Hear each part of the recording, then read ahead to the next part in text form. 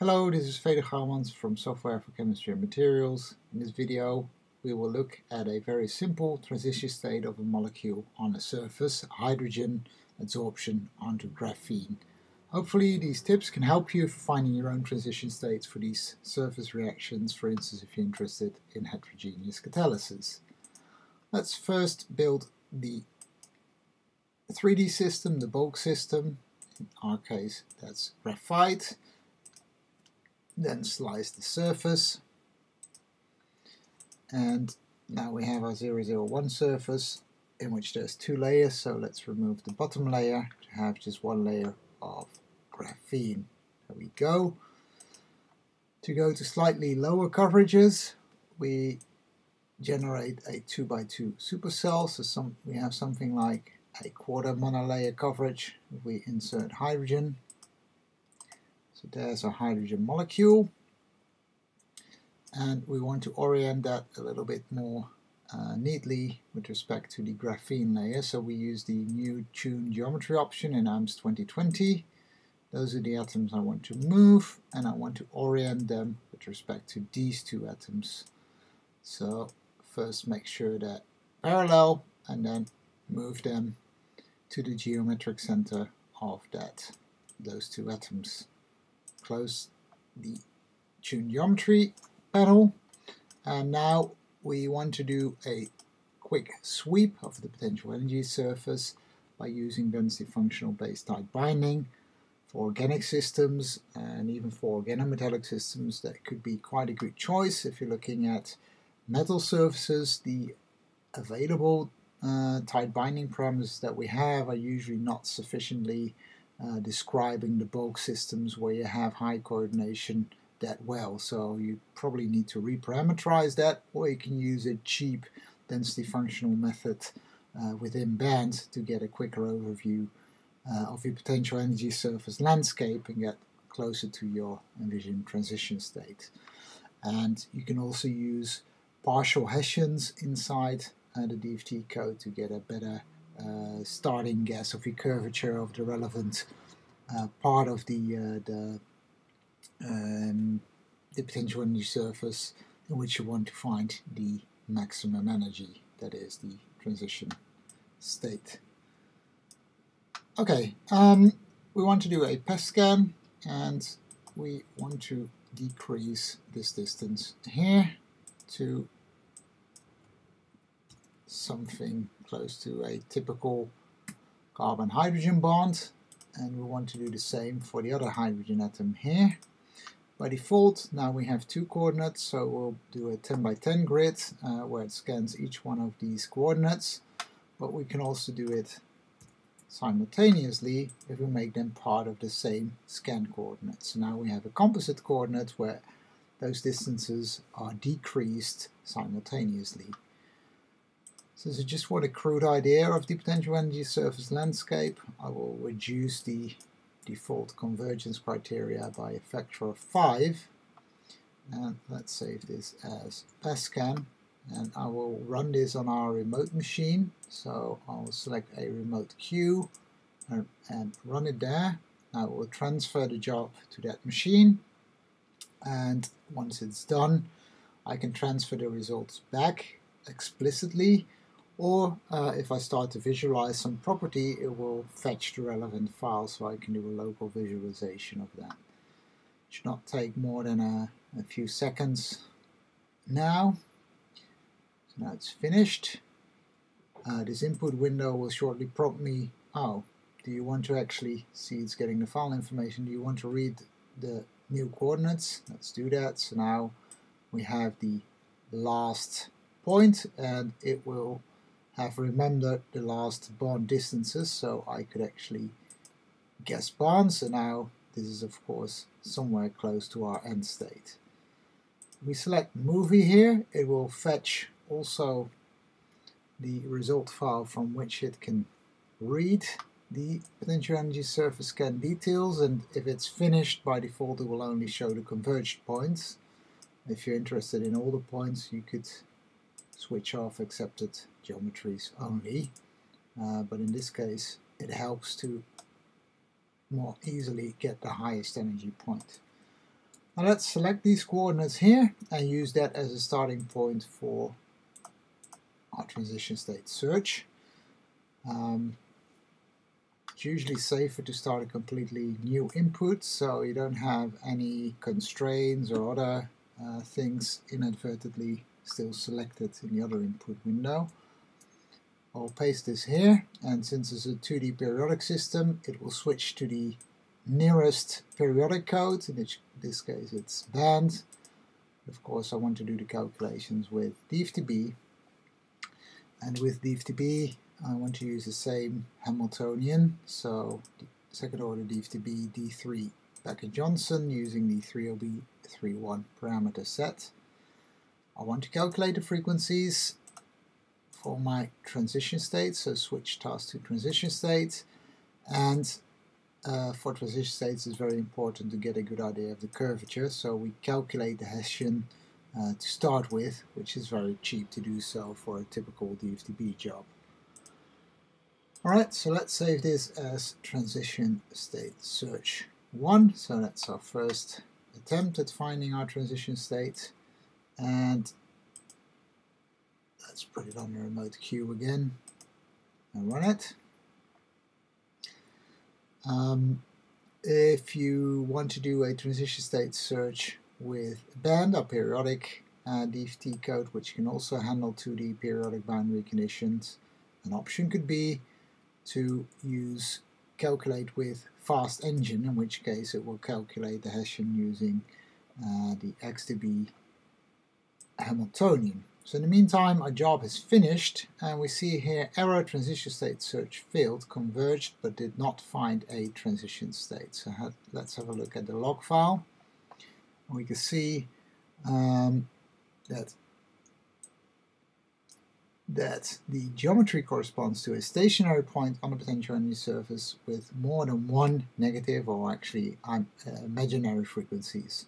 So we can visualize those frequencies if we have the job selected.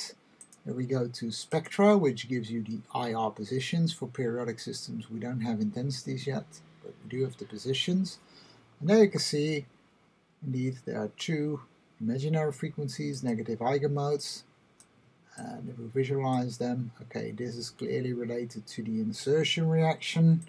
Um, but here, also with a with an imaginary uh, frequency, is a mode that actually breaks the synchronicity. So that means since it's a negative number, if we distort along that coordinate, we can go downhill from a second order saddle point to a first order saddle point. And usually what is quite easy to do is just distort the system manually. So in this case, we need to break the symmetry. We want to push this hydrogen atom up a little bit higher. And since the slider always uh, selects the last atom to move it.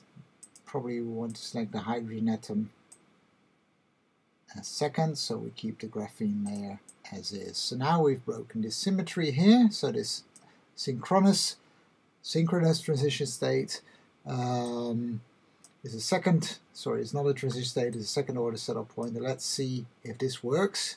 Make sure we calculate the frequencies and again as a starting point we calculate the initial Hessian. Okay, um, let's save this as transition state search 2. Let's see if we're more successful this time around. Put it onto Ivy on 16 core nodes and run it there.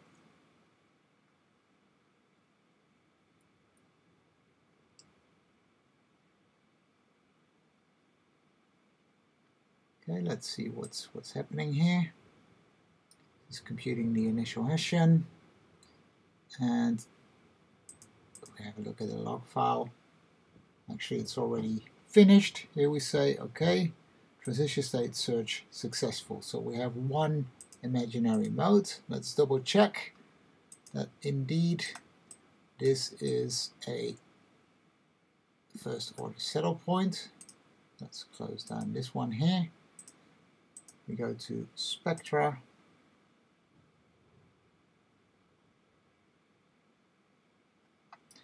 and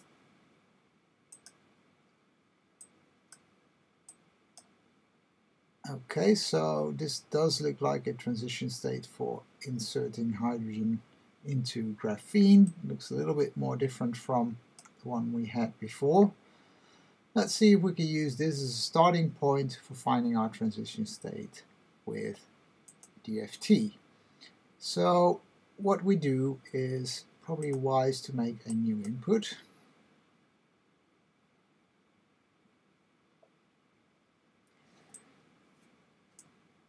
and just copy these coordinates into this new input window here and as we've seen before this will switch to band and with band we want to do a transition state search and we also want to calculate not all the frequencies but we just want a characterization of the PES point which will be a much quicker way to assess whether or not we have one and one negative mode only. Now we can use um, for our transition state initial Hessian the one that we just calculated. So rather than using auto, we'll, we will use from file and then we will choose the Hessian which was calculated with TS search 2.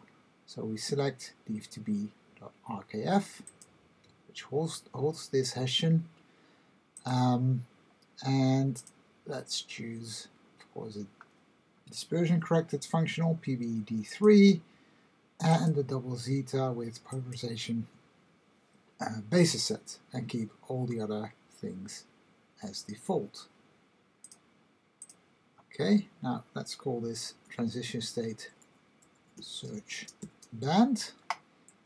And if we save this file, it will have this dependency here. So it uses the Hessian um, as we indicated. So this file is a dependency. And if we now transfer that to, let's use a different cluster in this case, to our remote cluster, it will also copy this file so you don't need to worry about whether or not that is in the right position.